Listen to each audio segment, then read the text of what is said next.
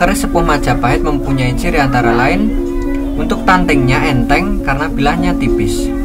Lalu besi padat, semunglai, tidak gampang robos.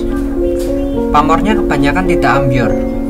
Sebagian besar di bagian odo-odo karena sap-sapan pamor hanya dua bekukan atau 16 sap. Karenanya di bagian keruingan pamornya habis.